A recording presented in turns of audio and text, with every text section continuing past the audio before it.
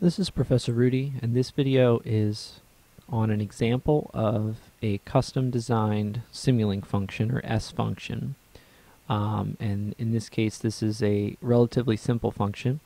Um, in a previous video, I had described um, how to start creating your own S function based on this um, provided template in MATLAB. And so just a brief review, this had um, a lot of commenting and a lot of description and generality for multiple purposes here. We had all of these different blocks that we could use, um, and so um, there were a lot of general capabilities. Now in this video I'm going to go through an example of a simplified version of this that doesn't need all of these functions. So first let me describe um, what we're trying to accomplish. So this is a simple example, um, and we want to create this level 2 S function. Um, the level 2 just meaning that we're going to program in MATLAB. And the application is that we want to convert airspeed components of an aircraft. There's two different ways to express this. One is to express in total airspeed, angle of attack, and side slip angle. So that's the V alpha beta. But the other way to express this is just in um, components of airspeed in the aircraft frame, UVW. And the way to relate these two pieces of information is described by uh, these equations right here. And so, um, if you were watching this video out of context of um, aircraft applications, don't worry about the context. Just pretend that you have this set of inputs and this set of outputs, and this is the desired relationship. And so rather than piece this together using trigonometric blocks and product blocks and doing it that way, we can create this within a custom designed function to do this calculation for us. And this is um, useful for a few different reasons. One, you can design this for any custom situation that you're going to have, particularly if it's something you need to use um, more than once. Um, and so this is also uh, good for keeping things organized so you don't have unnecessary math operation blocks floating around piecing together a calculation. And so we're going to start by creating that function and then we'll come back to this later but then we want to actually use this in a Simulink model to do a conversion for these given values. So with that in mind let's come back to our MATLAB so remember that we're creating these S functions using a MATLAB script. So when I did this, and this is already pre-worked out, but I started with this template file, did a save as, gave it a new name, and I called this VAB for V alpha beta to UVW. And so just remember that this name here needs to match your file name. And then after that, what I did was um, basically I cut out anything I didn't need. I also trimmed back a fair amount on the commenting just so it was easier to see exactly what we need in order to make this happen for this simple function. So within the main function definition, all we need to do is call the setup block. That's all the main function does. So um, you don't need to worry about changing that. There's a lot of commenting up in here. I just trimmed that out so we could see this. It's That's all there is to it. Within that setup block, this is where we need to um, perform some initial setup things for our program. And in this case, one thing that we need to change is I need to define this so that I have three input ports coming in. So one for V, one for alpha, one for beta. And then for my outputs, I need one for UVW. So I need three of each, three coming in, three going out. And so I start by defining those. Um, these were things that were provided in the template. We're not going to worry about changing those. Those are good. I don't need to define any parameters for my block. So th these are those things that when you double click on the block, you can change things. Um, this function is always going to be performing the same operation, so we don't need any parameters. Um, I'm going to do this in continuous time, so I don't need to change the sample times. I don't need to change uh, the simulation state. And now here, when we get to the point where we add that whole list of uh, relevant methods, I only am going to need three. So after the setup, we just define whatever else we need, and I only need three. So um, I have these two required ones, and then um, sometimes you need to include this um, set input port sampling mode um, situation. And um, when you need this, uh, MATLAB will usually be nice enough to tell you with an error that um, you need to define these input port sampling. But if you need this, um, it's just a general block that you need to include. You don't need to worry about customizing it. So I'll show you that.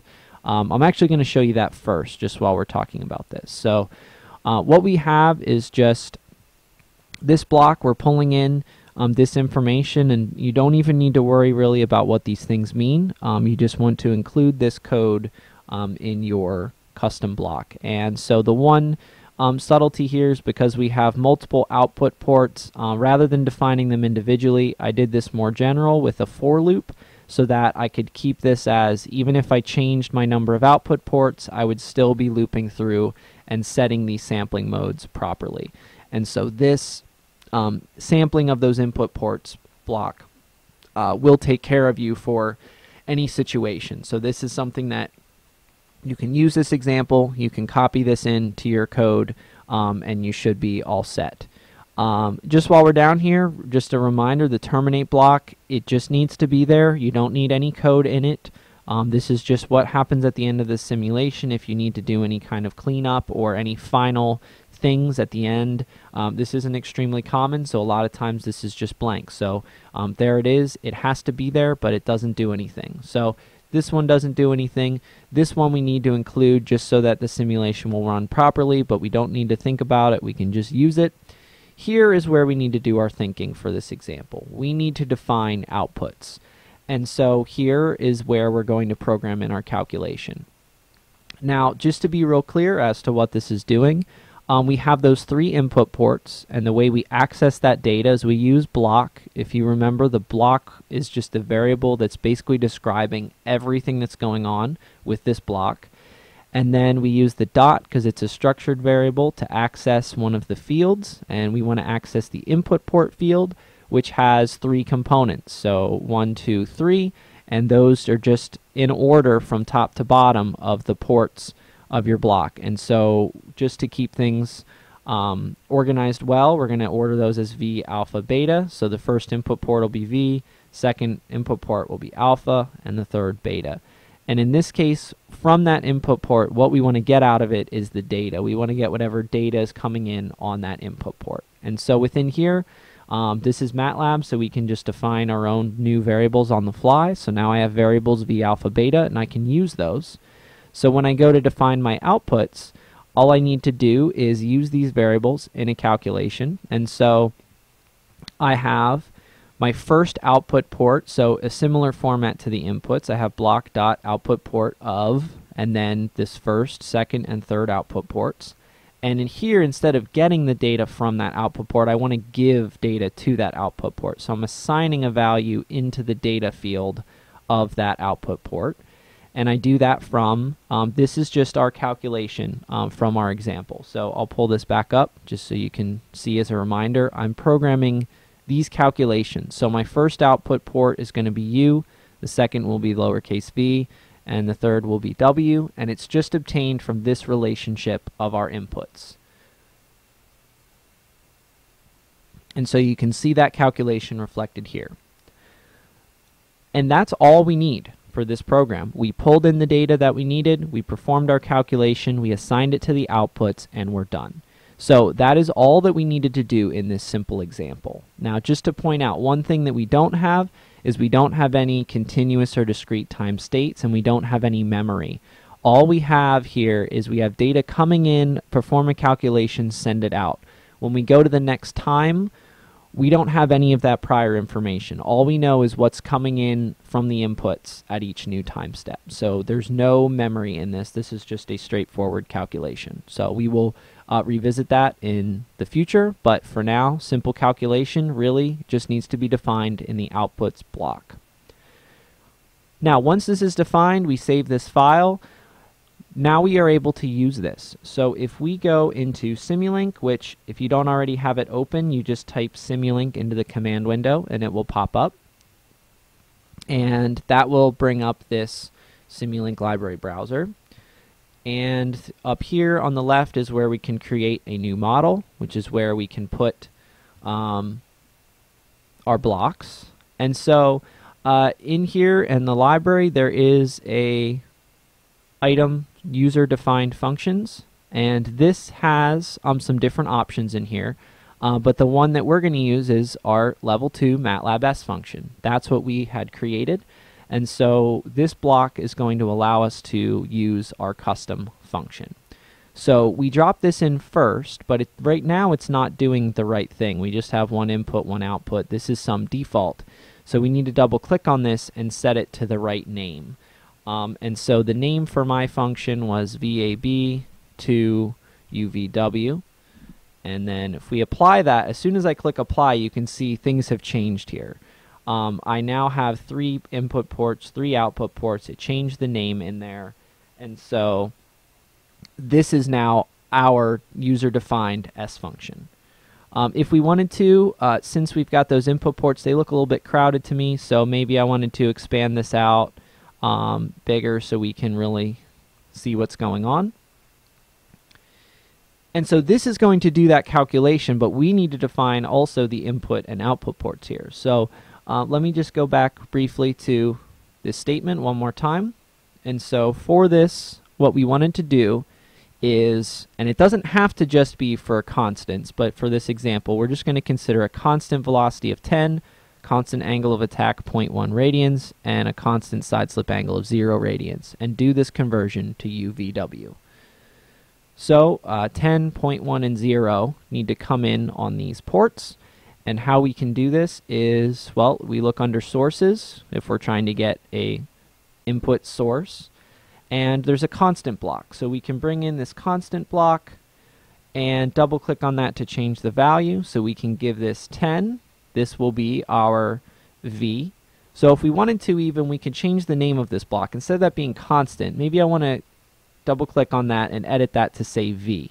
So this will be my velocity. And I want to drag that in here to this first input port. I like to keep my models clean, so I'm going to drag this so that we have a nice straight line.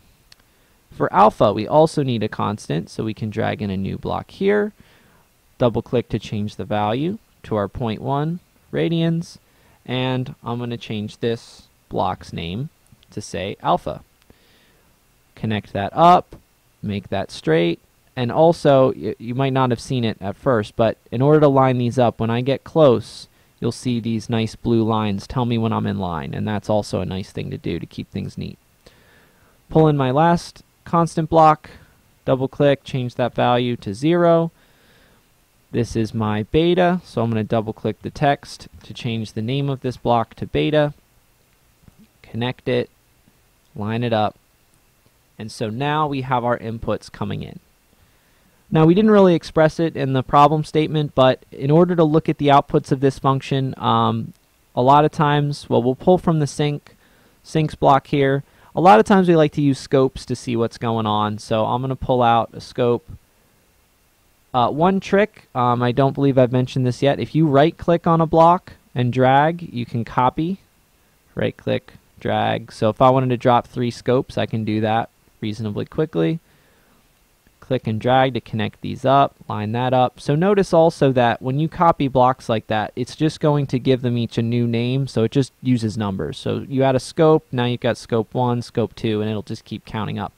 But again, I'd rather say what these things are, so I'm going to change that to U, V, and W. And so now these are going to be the names of those blocks, but now it's really going to tell me when I look at these uh, what I'm actually seeing. So uh, let's go ahead and run this simulation. Um, it is complete and now we can look at if we double click on the U block well I'm not seeing anything in my window but maybe I need to auto scale and now I'm seeing something so it looks like I have a value a little bit less than 10 um, which should make sense because our total airspeed was 10 but we have some angle of attack on there. So that's our U. We can leave that open. Let's pull up V. Auto scale that. Well that one's just zero.